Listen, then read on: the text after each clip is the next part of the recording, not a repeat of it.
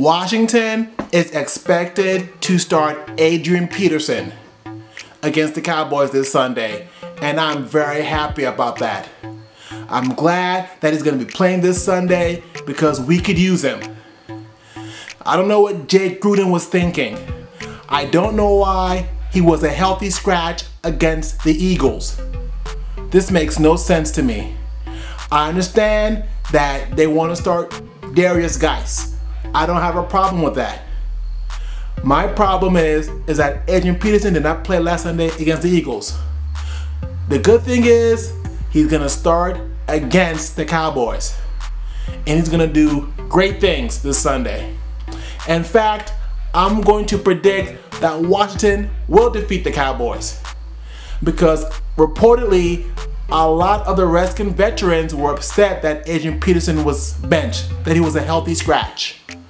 So they're going to use what happened last week as motivation this Sunday. And we know that when Washington plays Dallas, the games are usually close, they're usually nail biters. So that's going to happen again this Sunday. So the Washington will probably beat Dallas. I say the score will be 20 to 17. It's going to be a low scoring affair. And Adrian Peterson, he's going to do great things this Sunday. He's to rush for over 100 yards. I've got him rushing for 125 yards, in fact. He's to be that bell cow running back that we know. He's to run through that Cowboys defense. He's to score probably about two touchdowns. And he's to lead us to victory. I'm telling you, he's to have a great game. He's to catch some passes too. Because not only can Adrian Peterson tote the rock, he can catch the ball. He's great, man. This man can still play. Last season, he had over a thousand yards rushing. So we know he can be a bell cow for Washington. And the thing is, he's going to be playing down the road as well a lot for Washington because Derrius Guice is out. He had surgery on his knees reportedly and is going to be out for a couple of months.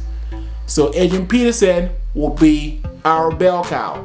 He will be running the ball for Washington and he's going to do great things for that team. He's going to start this Sunday coming up with the Cowboys and down the road. So I'm glad Washington has started him. And I'm saying this, and this may surprise people, but I've got to say this. Even if Derrius Guice comes back, I think Adrian Peterson should still start. I don't think he should lose his job to Derrius Guice. Now, don't get me wrong, Derrius Guice is a great running back, and he is the future running back for Washington. There's no doubt about that. I have no problem with that whatsoever. I just feel that at this stage of the game, he should be the backup. Adrian Peterson should be the starter. There should be nobody else on that roster that should be starting ahead of Adrian Peterson. He has proven his value to the team. He's proven he can play in the league. We've seen what he can do when, when he was with Minnesota. We saw what he could do, even with the Cardinals. We saw what he was able to, to do. We saw how productive he was. Now, things didn't go too well with the Saints because we know that the Saints like to rotate their running backs. But other than that, when he's been the main guy, when he's been the primary ball carrier, we've seen how explosive, how dynamic, how great he is on the field. So it's gonna start this Sunday coming up. He's gonna just carry that ball. He's gonna carve up that Cowboys defense. And they're gonna be in for a long, hard day. So that's what I believe will happen. And I'm telling you now, don't be surprised if he leads the league. I would say lead the league in rushing, but don't be surprised if he's one of the top five running backs this season in NFL. Because he can still play. He can still run. He is healthy for the most part. And he's always been productive. We, we have a large sample size of him being productive, being able to tote the rock so it's going to be a great season for him. And I look forward to watching him play against the Cowboys.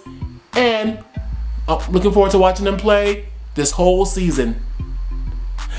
Thanks for watching. Thanks for listening. you should definitely subscribe to my channel if you have not done so already because I'll be putting out more videos like this. So just press the red subscribe button below this video so you won't miss out on any future content that I post. Thanks again for watching. Thanks for listening.